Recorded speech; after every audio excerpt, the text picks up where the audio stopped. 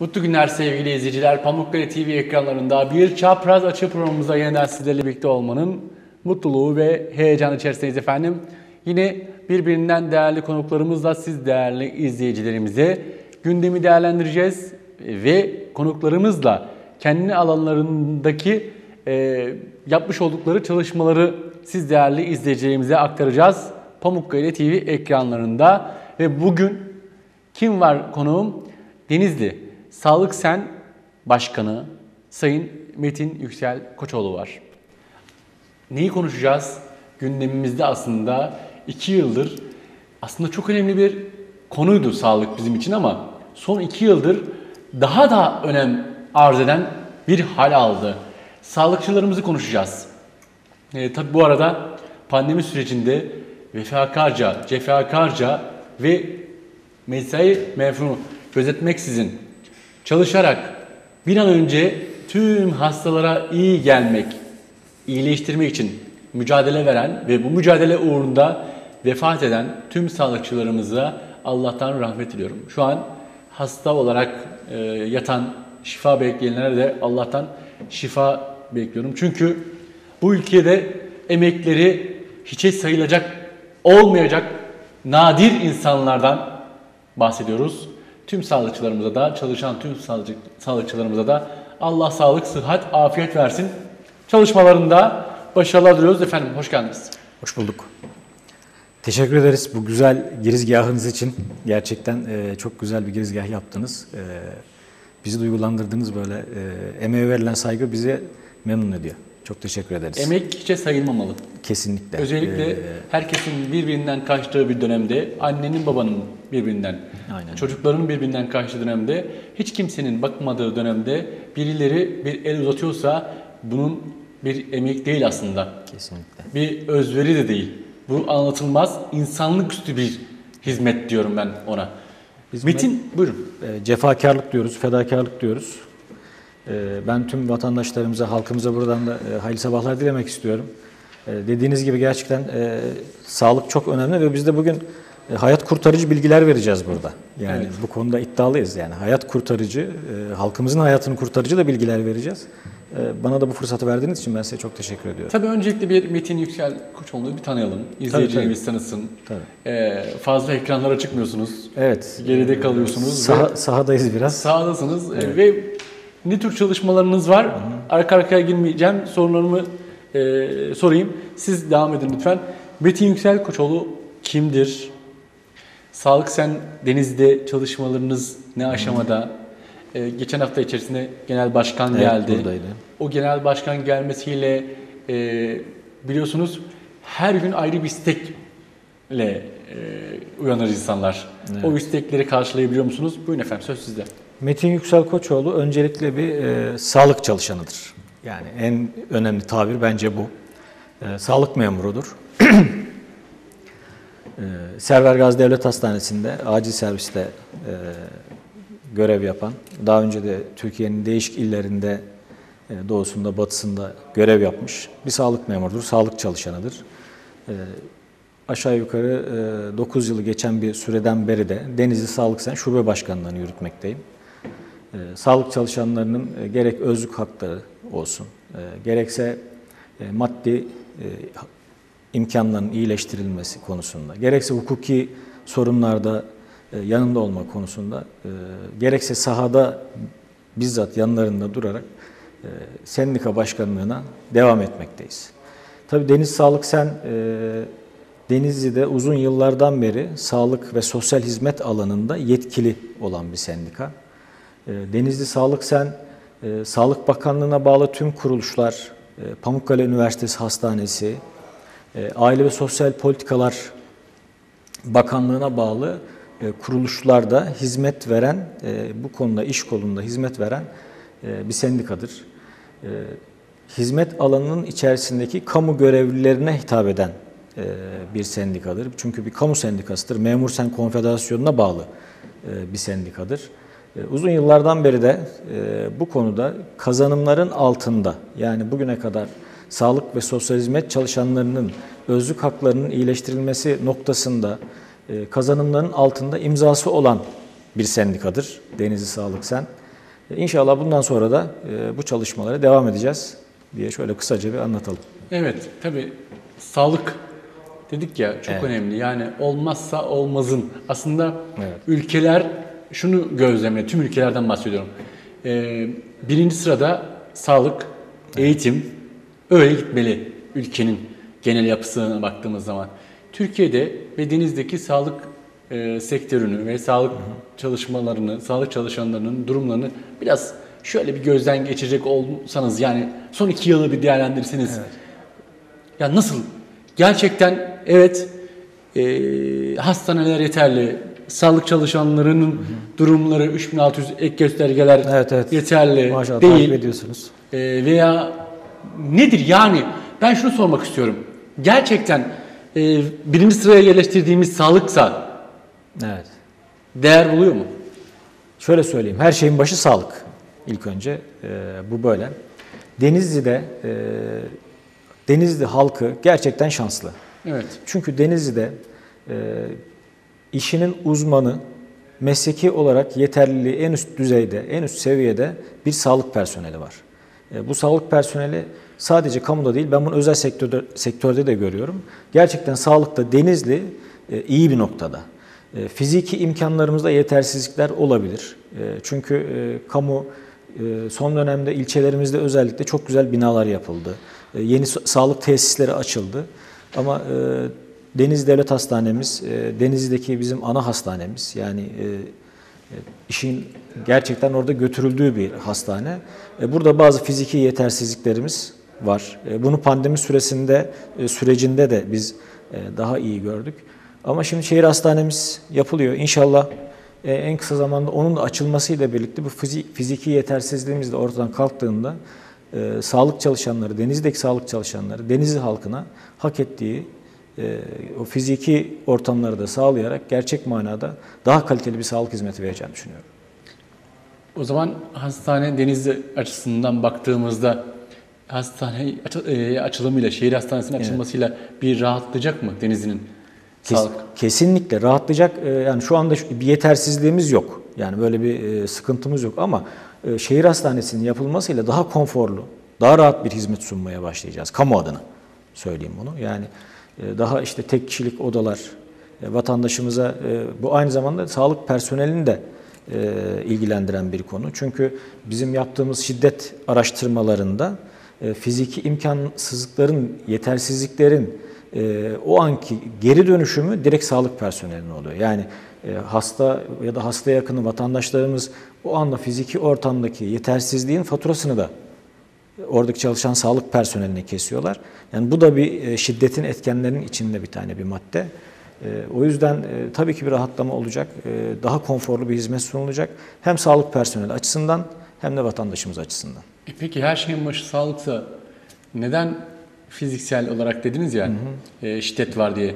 Şiddeti tam açık yani şöyle bir açılımını yaparsak şiddetin ufağı büyüğü olmaz. Olmaz kesinlikle. Şiddet şiddettir. Yani bu sözlü, sözlü de olabilir, sözsüz de olabilir. Evet. Ee, yani herhangi bir şiddete karşı bir e, yasa neden tam teşekküllü çıkmadı? Ee, Sedat Bey, bu iş konu çok ilginç bir konu. Gerçekten e, uzun zamandan beri üstünde çalıştığımız, alternatif e, çözümler ürettiğimiz, çözümler sunduğumuz e, yetkili e, mercilere. Ama şiddet e, hala devam ediyor. Biz her ay e, Sağlık Sen olarak şiddet raporu yayınlıyoruz. Yani bu çok acı bir şey. Yani her ay o ayki bütün e, şiddet olaylarını, vakalarını rapor haline getiriyoruz ve bunu yayınlıyoruz her ay. E, Ama hala devam ediyor. E, Birçok e, yasa çıktı. Şu anda kamu personeli içerisinde sağlık çalışanlarına özel şiddeti önleyici yasalar da var. Ama e, nitekim yani ne hikmetse bunlar dahi şiddetin önlenmesini engelleyemedi ve hala devam ediyor. Yani şunu anlamak çok zor. Düşünsenize bir pandemi süreci siz bahsettiniz şimdi iki yıldır devam eden bir pandemi süreci var. Şöyle çalışan bir personelimiz var, sağlık personelimiz. Yani özetleyelim şöyle.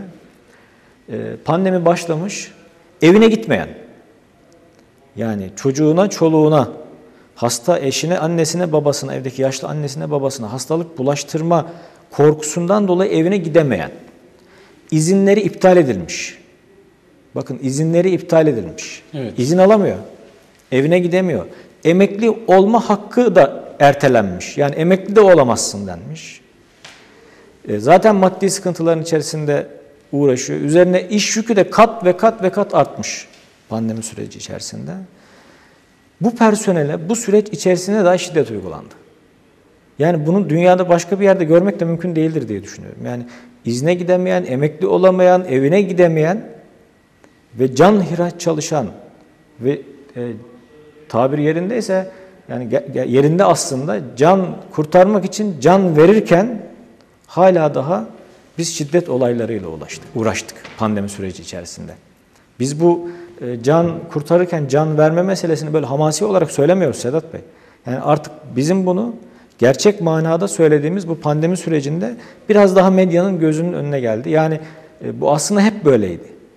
E, ama çok fazla biz bunu anlatamadık. Biz bu derdimizi vatandaşlara anlatamadık ya da kamuya anlatamadık, kamuoyuna anlatamadık. Hatırlarsınız her zaman gündeme getirdiğimiz Tokatlı bir hemşiremiz var. Allah rahmet eylesin. Kırım Kongo kanamalı ateşinden Evet, vefa, evet vefat etmişti. Birçok personelimiz bizim şehitlerimiz oldu Kırım Kongo kanamalı ateşinden. Yine kan hastalıklarının bulaşması sonucu vefat eden. Kolay değil bir yani. Yani bu sadece e, pandemiyle Covid-19'da başlayan bir olay değil. Bizim can kurtarırken can verme hikayemiz.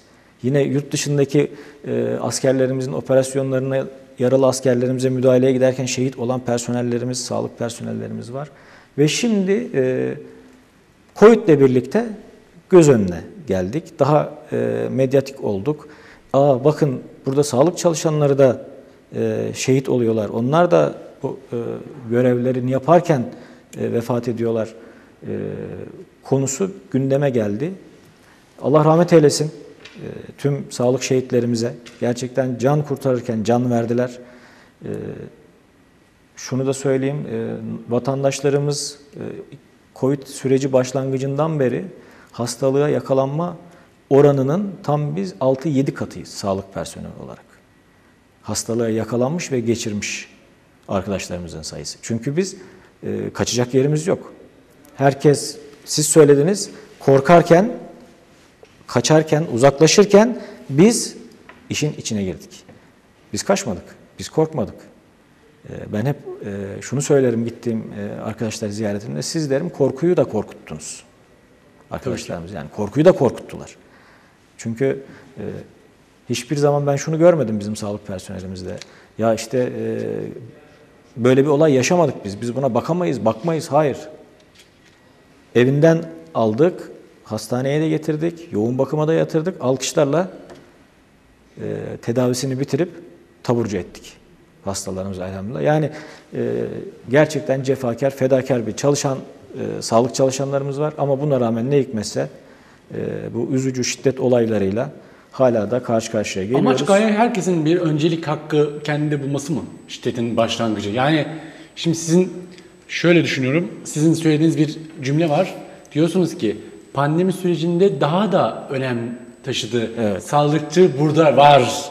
Evet, sağlıkçılar da şehit oluyor, hasta oluyor. Evet, var. Onlar da insan. Onlar da insan oldu. Gün be gün gün yüzüne çıktı. Ancak şu var. Herkesin kendine göre bir öncelik hakkı mı tanınıyor kendine? Şiddet oradan mı doğuyor? Çünkü ben şiddeti şöyle e, çözümledim sağlık çalışanlarında. Siz rapor dinliyorsunuz ama ben dışarıdan bir göz olarak bakıyorum. Herkes kendinde bir başka öncesinden daha öncelikli gibi hissediyor. Evet. Ve bu verilmediği zaman şiddete dönüşüyor diye düşünüyorum. Çünkü olabilir. Düşünsenize e, yaralı bir insanı kurtarmak için mücadele veren 10 kişi ye karşı mücadele verilmez. Ama kendini bir öncelikli gibi hissediyorsa bu herkesten öncelikli olduğunu ifade ederek bir şiddet e, girişimde bulunuyor diye düşünüyorum. Hasta yakınlarının yani böyle bir psikolojisi olabilir ama bizim sağlık çalışanları olarak e, bizim için insanların e, maddi durumu, e, rengi, cinsi, ırkı önemli değildir. Bizim için hastalıkların önceliği vardır. Triyaj dediğimiz bir olay vardır. Hastalığın aciliyetine bakarız, acil hastaları sınıflandırırız. En acil hangisi ise işe ondan başlarız. Ama diyor ya benim vergimle oradasın diye. Ama ya bu yanlış bir şey. Yani e, İşte bak, bu bir- emek ve alın teri veriyorlar ve karşılığını alıyor almaya çalışan bir sağlık personelimiz var. ve dediğim gibi biz insanların öyle e, bizim bakış açımız, bizim önceliğimiz hastalığın aciliyetidir. Evet. Biz hastalığın aciliyetine göre e, sıralamamızı belirleriz. Hangisi daha acilse ilk müdahalemize ondan başlarız. E, tabii herkes kendi öncelikli görebilir. E, böyle bir hani insanoğlu nefsi var. Ama orada o saygıyı hem diğer hasta ve hasta yakınlarına göstermek zorunda hem de sağlık personeline göstermek zorunda. Şiddet uygulayan insanlara şöyle baktığınız zaman Sedat Bey e, şöyle de bir şey karşınıza çıkıyor. Bu insanlar aşağı yukarı yani genelleme e, yapmayalım ama aşağı yukarı aynı insanlar. Yani toplumda maganda olarak nitelendirilen, trafikte olay çıkaran, maça gitse maçta olay çıkaran, okula gitse okulda olay çıkaran aynı kişiler hastaneye geldiklerinde de yine aynı olayları tekrarlamak istiyorlar. Bencil kişiler. Yani e, belki doğru tabir budur. Ama genelde aynı isimlerle, aynı kişilerle. Yurt dışında bunun örnekleri var. E, bir sağlık çalışanına şiddet uygulandığı zaman e, kişi bir sonraki tedavisinde önce gidip karakola, karakoldan bir güvenlik görevlisi nezaretinde gidiyor hastaneye. Tam burada da olsun. Yani istedik olsun dedik. Evet. Ya da e, bir sağlık personeline şiddet uygulayan biri mahkemeden ceza aldığında onun fotoğrafını alıp hastanelerin acil servislerine, koridorlarına asıyorlar. Bakın işte bu Ahmet Mehmet Bey bir hemşireye hakaret etti. İşte e, bir yıl ceza aldı ve şu anda parmaklıkların arkasında diyerek onu bunu yapan ülkeler var. Ya da e, sosyal güvenliğinden mahrum bırakılan belli bir dönem o cezayı alan veren ülkeler var. Yani caydırıcı yöntemler bulunmuş. E biz de istiyoruz. Yani bu artık biz şunu istiyoruz. Bu şiddet meselesi sağlık çalışanlarının gündeminden kalksın. Yani sağlık ve şiddet kelimesi birbirine hiç yakışmıyor. Şiddetin olmaması gereken yer sağlık. Ama biz bununla uğraşıyoruz. Biraz önce anlattım. Yani hastayı kurtarmaya çalışıyoruz. Şiddet uygulayanın hastasını kurtarmaya çalışıyoruz. Yani e, kişi geliyor, örnekleri çok. İşte yaralanmış, trafik kazası geçirmiş. Aynı doktoru darp ediyor. E, ilçede başka doktor yok o gün nöbetçi olan. Ya darp ettiği doktor tarafından tekrar tedavi ediliyor hasta. Yani bu adam darp ediliyor. Yani düşün bu doktor darp sonraki, ediliyor. bir sonraki hastayı tedavi edecek doktor da yok. Yani tek doktor ilçede şey o akşam o gece nöbetçi ama hani e, inşallah e, yani bu önlemler daha da sertleşmesi Şiddet lazım. için şunu söyleyeyim mi? Ee, bu şiddeti uygulayan kişi aslında doğdukta, doğduğu zaman ağlıyor ya. Evet. Ağlarken ilk şefkati veren sağlıkçı zaten. Evet. Aptal olmasa Estağfurullah da yani yo ben bu iş böyledir. Şimdi bencilleri bunu demek lazım. Neden? Estağfurullah yok efendim. Şimdi ben annemi babamı götürüyorum acilde. Siz o acil doktorunu darp etmiş olsanız annem babama kim bakacak? evet aslında diğer hastalardan Yani da şimdi bunu bunu sö- bunu söylemeyelim. Suç Zaman alıyor. Suç teşkil etsin, hemşireyi dövsün, onu dövsün, bunu dövsün. O suç al- alanına girmesin. Bunlar bence yanlış bir şeyler. bakın Sedat Bey ben sahadan gelen biriyim. Yıllarca acil servislerde çalıştım.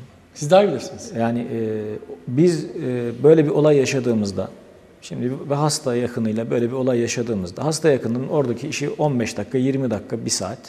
Bir saat sonra o gidiyor evine. İşte o akşam e, kafeye gidecekse kafesine gidiyor. İşte gidip dinlenecekse dinleniyor, tiyatroya gidiyor, sinemaya gidiyor ve o bırakıyor biz orada. Evet. Ama biz onun bize bıraktığı gerginlikle, stresle, yorgunlukla sabaha kadar hizmet etmek zorundayız. İşte bu bencillik değil mi? Ve bu bizi yani asıl yoran bu.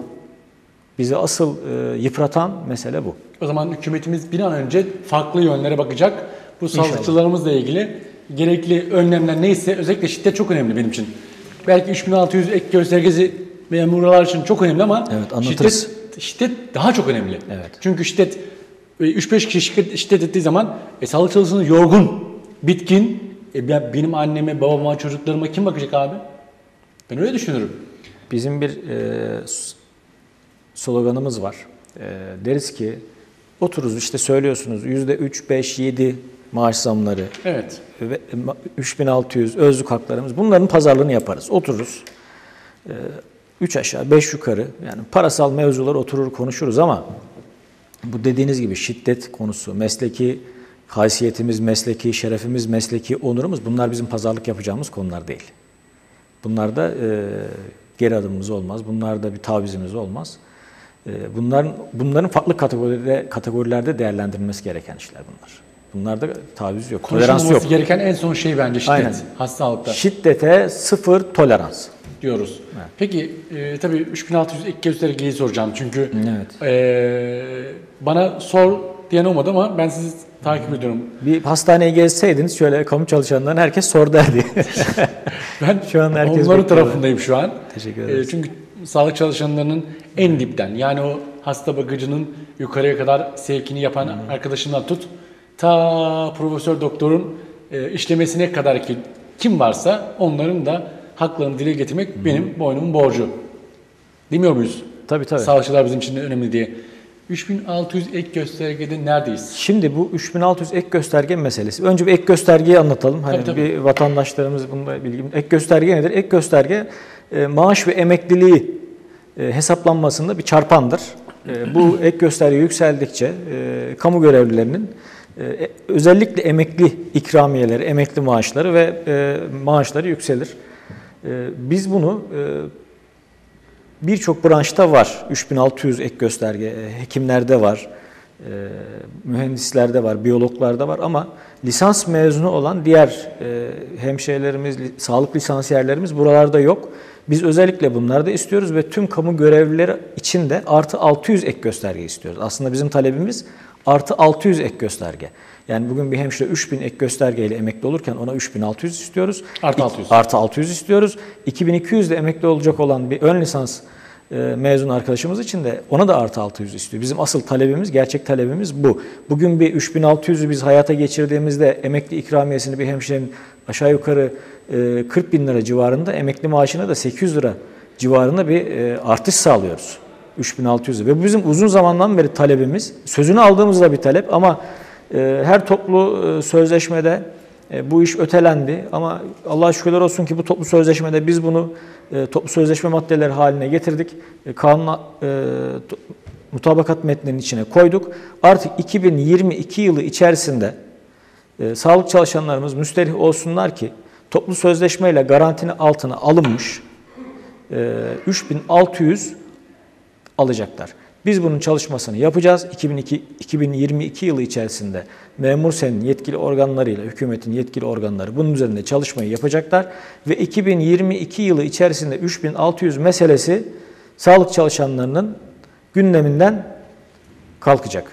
Ee, Şu anda bütün sağlık personelimiz e, bu 3600 meselesini bekliyor. Çünkü bizde bir meşhur döner sermaye var. Herkesin e, konuştuğu, bildiği. E, e, Halkımız tarafından da şöyle bir algı var. Sağlık çalışanları döner sermaye alıyorlar, maaşları yüksek. Hayır, hiç öyle bir şey yok e, Sedat Bey. Sağlık çalışanları bugün döner sermayeleriyle birlikte normal bir memurun aldığı maaşı alabiliyorlar. Yani öyle bir ekstra bir döner sermaye ödemesi kalmadı Sağlık Bakanlığı'nda, hastanelerde. Ve biz onu bu mağduriyeti gidermek için de bu toplu sözleşmede döner sermayelere sabit ödemelerimize %20 artış e, sağladık. 2022 yılı Ocak ayı itibariyle başlayacak.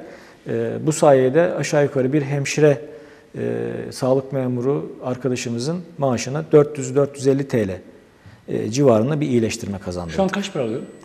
Şu anda e, devlet memurlarının maaşları bitirdikleri okullara göre, kıdem derecelerine göre e, değişir. En düşük seviye. En düşük seviye e, şöyle söyleyeyim, total söyleyeyim işte sabit ödemesi e, maaşıyla birlikte e, en düşük seviye 5 bin lira civarında. E, En üst seviyeden alan da bugün 6 bin lira civarında e, bir maaş ödemesi var. Yani öyle e, kamuoyunda... Döner sermaye dahil. Döner sermaye dahil. Yani tüm ödemelerin de işin içine sokarak söylüyorum. Öyle kamuoyunda bilindiği gibi öyle afaki e, ücretler yok e, sağlıkta. Bir 400 TL'lik e, bir iyileştirme elde ettik. E, güzel toplu sözleşme kazanımlarımız var. E, çünkü iyi hazırlandığımız bir toplu sözleşme e, süreci e, geçirdik ve bu e, iyi hazırlanmanın sonucunda da e, tabii istediğimiz her şeyi o masadan aldığımız söyleyemeyiz. Ülkenin içinde bulunduğu gerçekler de var. Ama yapabildiğimizin en iyisi, alabildiğimizin en iyisi olan bir toplu sözleşme gerçekleştirdik. Bunların başında dediğim gibi memur senin geze, genel e, maaş artışı olan 5 artı 7, 8 artı 6, 2022 ve 2023 e, buna ilave olarak e, söylüyorum bu %20'lik e, döner e, sabit ödemedeki artışı. E, bu bir rahatlama getirecek sağlık personelimizde. E, enflasyon farklarıyla birlikte. E, ve diğer e, bir de şu, bunun şöyle bir güzelliği var. Yani bu sadece bir hemşireye, sağlık memuruna, laboratuvar teknisyenine değil. E, teknik hizmetlerde çalışan bizim teknik personellerimiz, teknisyenlerimize de e, yarayacak. Onlar da alabilecek. E, veri hazırlama kontrol işletmenlerimiz, şoförlerimiz, destek hizmetleri dediğimiz onlar da alabilecekler. Hizmetli personel dediğimiz sağ olsun arkadaşlarımız gece gündüz çalışıyorlar. Onları da ilgilendiren bir konu. Yani sadece sağlık personeli bütün çalışan, sağlık alanında çalışan herkesin kesesini e, arttıracak, keseye giren parayı arttıracak bir kazanım olarak değerlidir diye düşünüyoruz. Güzel bir e, toplu sözleşme ile hazırlandınız herhalde. Kesinlikle yani toplu sözleşme e, sürecine çok iyi hazırlandık. E, bu ilk önce sahadan talepleri topladık. Yani şöyle bir strateji geliştirdik bu toplu sözleşmede. E, yüzlerce talepten ziyade sağlık çalışanlarının genelini ilgilendiren daha az talep ama bunları almaya odaklandık. Yani e, eğer bir oradan bir masadan biz bir şey alıyorsak aynı bu %20 artış gibi sadece hemşireleri, sadece ebeleri, sadece laborantları, sadece hekimleri ya da ne bileyim sadece memurları değil. Sağlık çalışanlarının genelini ilgilendiren e, herkesin üzerinde mutabık kaldığı ve herkese dokunacak kazanımlar. Bunun olması için talepler topladık. Bu talepleri önceliklendirdik. E, bunları genel merkezde yaptığımız toplantılarda, başkanlar kurulu toplantılarında bunları sıraladık ve e, toplu sözleşme e, masasına oturduk ve bugün bu kazanımlarla birlikte yani şöyle bir maddi olarak söyleyeceğim bunu. E, bir sağlık personelimizin 2022 yılında aylık maaşına bitirdiği okul kadro derecesine göre 900 TL ile 1400 TL arasında değişen ilave bir gelir elde ettik. Bu toplu sözleşmeyle. Zam değil ama değil mi bu? Bu bir zam 5 artı 7, 8 artı 6. Bütün memurları ilgilendiren bir zam. Ama biz bunun haricinde söylediğim gibi işte döner sermayenin %20 artırımı ödenmesi. Yine bu senenin çok önemli bir maddesidir. Ben bunu çok önemsiyorum. Kamu sendikacılığında Türkiye'deki kamu sendikalı sendikacılığında bir dönüm noktasıdır. Toplu sözleşme ikramiyesinin yükseltilmesi. Daha önce bu 3 ayda bir 135 TL olan e, toplu sözleşme ikramiyesini bu e, toplu sözleşmede 400 TL'ye çıkardık. Yani bu yılda e, üye olan e, bir sendika üyesi ile sendika üyesi olmayan arasında yıllık bir 1600 TL'lik fark oluşturacak. Yani bugüne kadar işçilerde e, siz tabii takip ediyorsunuz bu konularla ilgilisiniz. E, işçilerde şöyledir. E, işçi sendikalarında sadece üye olanlar faydalanabilir kazanımlardan yani bir toplu sözleşmeden. Üye olmayanlar da dayanışma aidatı öder ya da faydalanamaz. Böyledir kanun. Sizin ama genel ama. Bizde öyle değildir. Bizde e, biz toplu sözleşmeye imza attığımız an yetkili konfederasyon toplu sözleşmeye yapıp imza attığı an üye olan da alır, olmayan da alır, hiçbir yere üye olmayan da alır, başka bir sendikaya üye olan da alır. Burada şöyle bir şey getiriyor bu da. Tabii sendikanın emeğini ve değerini kıymetsizleştiren bir durum oluşuyor. Çünkü siz uğraşıyorsunuz, emek veriyorsunuz, çalışıyorsunuz. Sendika olarak bir şeyler kazanmaya çalışıyorsunuz. Ama yani çorbada tuzu olmayan da yani o taşı kaldırırken emeği olmayan da bundan faydalandığı zaman bu sefer insanlarda bir ya o zaman biz bu sendikayla niye üyeyiz? Niye biz uğraşan kesimdeyiz? Niye biz e, yani rahatımızı bozuyoruz. Şimdi e, gündemi takip ediyorsunuz. E, hükümetin ilk verdiği e, zam e, bu rakamlar değildi. Bizi memnun etmeyen rakamlardı. Ve hızlı bir şekilde eylem kararı aldık bu toplu sözleşme sürecinde. E, Ankara'da e, Anadolu Meydanı'nda yine Türkiye'deki en büyük kamu sendikacılığı eylemini yaptık 20 bin kişiyle. Yani resmi rakamlar 18.700 yanlış hatırlamıyorsam ama biz daha üstünde olduğunu düşünüyoruz. 20 bin kişiyle Ankara'da Anadolu Meydanı'nda bir eylem yaptık. Yani orada 20 bin memur geldi dedi ki ya bu bizim hak ettiğimiz ücret değil ve biz buna sessiz kalmayacağız. E şimdi orada emek veren birileri var ve bu hiç emek vermeden de bundan faydalanmak isteyen birileri var. Şimdi bunun da önüne geçmemiz lazım. Sendikacılığa da bir değer katmamız lazım ki bu işin sürdürülebilirliği olsun. 400 TL'lik 3 aylık e, periyotlar halinde 2022 yılı için bu 2023'te 500 TL'ye çıkacak.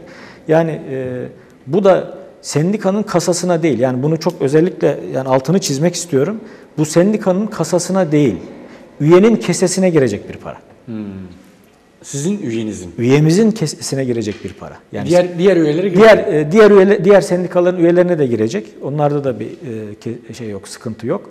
E, Sadece yüzde toplam çalışan sayısının yüzde birinin altında kalan sendikalar faydalanamayacak bundan. Aynı kanun işçilerde de var.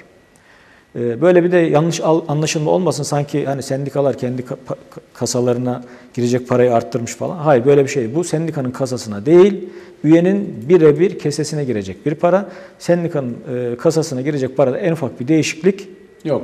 yok. Ee, 400 TL'lik to- sözleşme ikramiyesi yine e, engelli çocuğu olanlara yardımın artırılması, aile yardımına e, 429 TL'ye çıkarılması, e, 112'lerle ilgili e, şoförlük yapan arkadaşlarımız var. Aynı zamanda ambulans kullanıyorlar ve hastaya müdahale ediyorlar. Bunlara bir ek ödeme sağlanması, e, artırılması. Yine şöyle bir sıkıntımız vardı bizim sağlık çalışanları olarak. E, Bizim sağlık yani bizim sıkıntımız çok ama bunları da zaman içerisinde çözüyoruz. Bugüne kadar belli bir noktaya getirdik. İnşallah bundan sonra da getireceğiz. İdari izin dediğimiz bir olay vardı Sedat Bey. Neydi bu? E, Bazen hatırlarsınız e, aşırı bir kar yağar. Evet. Derler ki bugün iki gün, iki gün kamu tatil. Ya da e, bayram olur.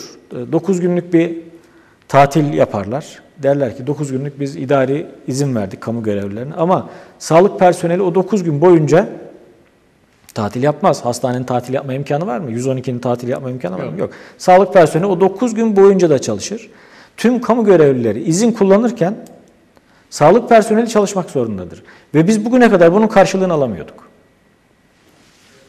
İdari izinlerdeki yaptığımız mesailerin karşılığını alamıyorduk. Bu toplu sözleşmeyle yani ben buna garabet diyordum. Bu garabeti de ortadan kaldırdık. Artık idari izin verildiğinde de sağlık personeli bu izinlerinden ücret olarak karşılığını alacak. Yine dini bayramlarda e, tutulan nöbetlerde %25'lik bir artış vardı.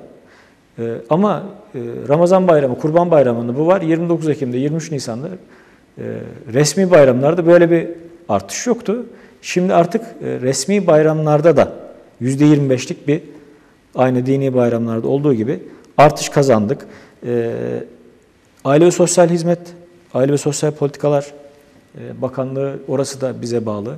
Oradaki yatılı kuruluşlardaki çalışan arkadaşlarımızın e, ücretlerinde artışlar sağladık. Şönim Şiddet Önleme Merkezi'nde çalışan arkadaşlarımızın ücretlerinde artışlar sağladık. E, Sağlık çalışanlarının biraz önce bahsettiğim gibi genelini ilgilendiren ve her personelimize dokunacak kazanımlar sağladık bu sözleşmede. En büyük sorun maddi mi? Hayır, en büyük sorunumuz e, tabii ki yani özlük haklarımız bizim için önemlidir. Çünkü e, herkes e, çoluğun çocuğun rızkını kazanmak için e, işe geliyor. Emeklilik e, olanlar var. Yani şu anda döner sermaye dedik ya biraz önce. Bu döner sermaye ödemesi Sedat Bey emekli olduğumuz gün bitiyor. Yani neredeyse e, bir sağlık çalışan emekli olduğundaki geliri, aylık geliri neredeyse yarı yarıya düşüyor. Ve bu da emekliliğe gelmiş ama hala çocuğu okuyan yani e, geçim sıkıntısı içerisinde olan insanları çalışmak zorunda bırakıyor. İşte 3600 aslında burada da önemli. Yani 3600 çıktığında insanların emekli ikramiyesi, maaşı arttığında emekli de olabilecekler. Dediniz yani en şey önemli konunuz madde mi?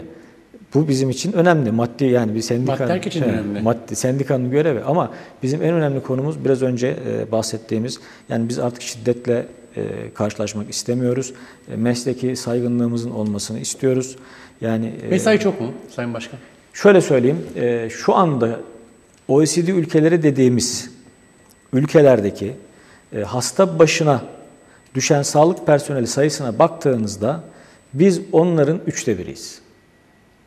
Yani Yani bizim hemşireler olarak söyleyeyim, hemşire e, arkadaşlarımızın e, istihdam sıkıntısıyla alakalı söyleyeyim, mesai alakasıyla. E, 400 küsür bin hemşireye ihtiyacımız var şu anda. Bizim e, hemşire arkadaşların insani şartlarda çalışabilmesi için halkımızın gerçek manada bu hizmeti rahat bir şekilde alabilmesi için 400 bin hemşire ihtiyacımız var. 400 bin hemşire istihdamına ihtiyacımız var. Şu anda gerçekten arkadaşlarımız insanüstü bir çabayla çalışıyorlar. e, Yani halk, halkımız bunu bilsin. Yani halkımız oraya geldiğinde ya oradaki hemşire arkadaşların insanüstü çabayla aslında bakmaları gereken hastanın 3 katı, 4 katı hastaya bakarak çalıştıklarını bilsinler. Ve buna gö- göre onlara da davransınlar. En büyük sorun o zaman İstihdam sorunu. Yani İstihdam bugün sorunu. bugün e, sağlık personeli nöbetli çalışan bir personel. Yani e, sabah 8 akşam 5 bizim mesai mevhumuzun çok kısa bir kısmı. Bizim asıl mesaimiz akşam 5'ten sonra nöbetlerimiz var, hafta sonlarımız var, bayramlarımız var. Biz nöbet usulü çalışıyoruz ve sa- sağlık personelimizin çoğunluğu da yine nöbet usulü çalışan personellerle evli. Asker eşleri, öğretmen eşleri de var. Ee, sağlık personeliyle evli olan e, çoğunluk çok. Yani ikisi de sağlık personeli. Ee, bazen şununla karşılaşıyorum. Sahada geziyoruz. E, diyor ki başkanım e, bu ay e, bir hesap yaptık eşimle. İşte eşi doktor ya da sağlık memuru, acil tıp teknikeri, paramedik. Bir hesap yaptık bu ay. e, 25 akşam e, beraber olamamışız diyor. Yani ya o nöbetçi olmuş ya ben nöbetçi olmuşum. Bu ay diyor 25 akşam diyor. Sadece bir ayda diyor 5 akşam beraber olabilmişiz diyor. Şimdi böyle çalışan personellerimiz var. Tabii ki bir an önce e, yani en büyük sorun istihdam bence. istihdam yani e, 5 bin 6 binli değil. E, Biz istiyoruz ki yıllık e, 30 binli, 40 binli, 60 binli yeni istihdamlar e, olması lazım sağlığa. E, Ki e, bizim diğer e, ülkeler gibi rahat bir şekilde e, vatandaşımıza hizmet edebilelim. O zaman Hüseyin kaç dakikamız var?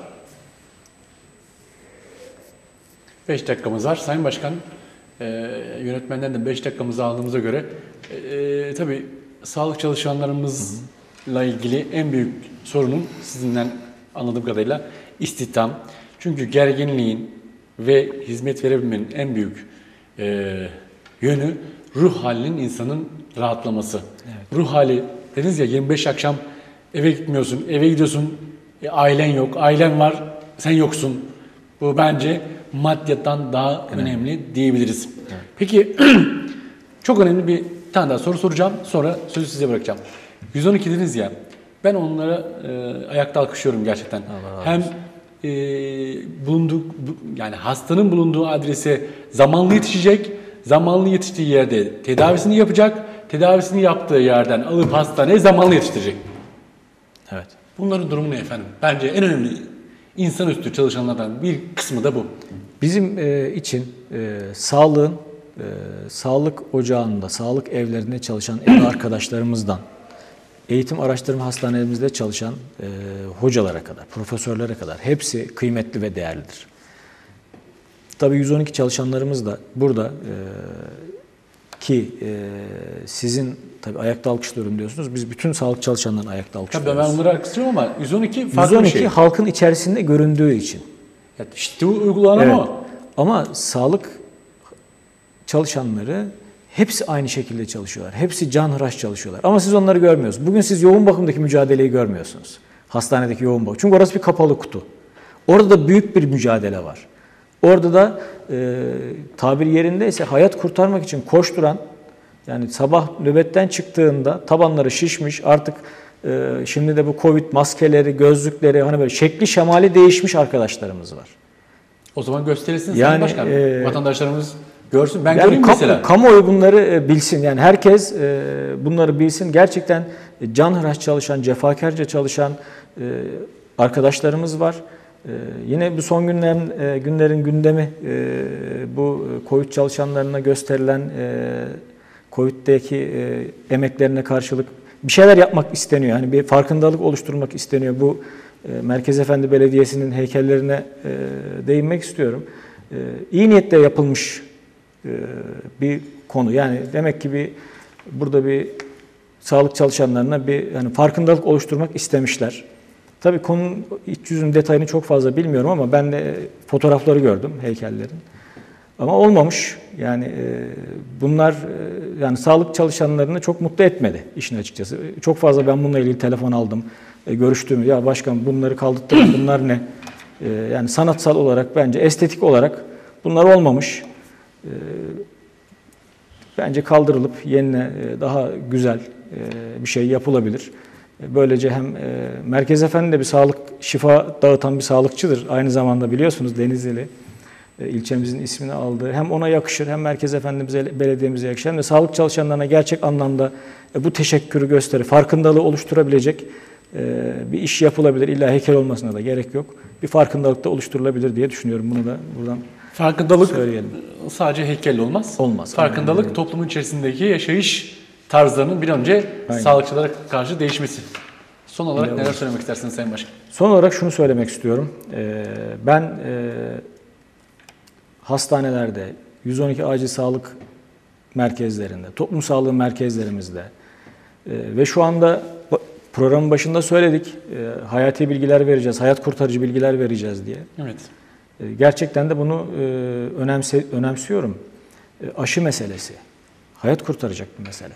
Yani bugün e, biz aslında kendimizi biraz da e, halkımıza da rol model yaptık bu Covid döneminde. Yani aşılanmadığında ne olur, aşılandığında ne olur? Bizim aşıların Türkiye'ye gelmediği dönemde e, sağlık personel arkadaşlarımız hekiminden hemşiresine kadar yoğun bakımlarda çok yatan arkadaşımız oldu. Yani yoğun bakımlarda yatanların neredeyse bir ara birçoğu sağlık personeliydi. Vefat eden, şehit olan sağlık personellerimiz var, doktorlarımız var. Allah hepsine rahmet eylesin, ailelerine sabırlar versin. Ama aşılar geldikten sonra yani onu bunu bıraksın vatandaşlarımız.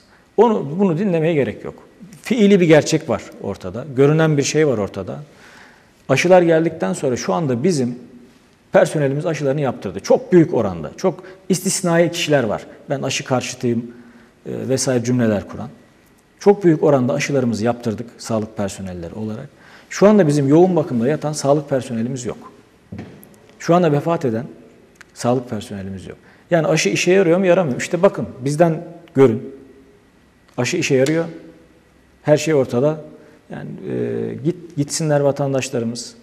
E, bugün AVM'lerde birçok yerde kalabalık olan yerlerde biz aşı istasyonları da açtık. Aşılarını yaptırsınlar. Hem kendileri için hem aileleri için hem de bizim için.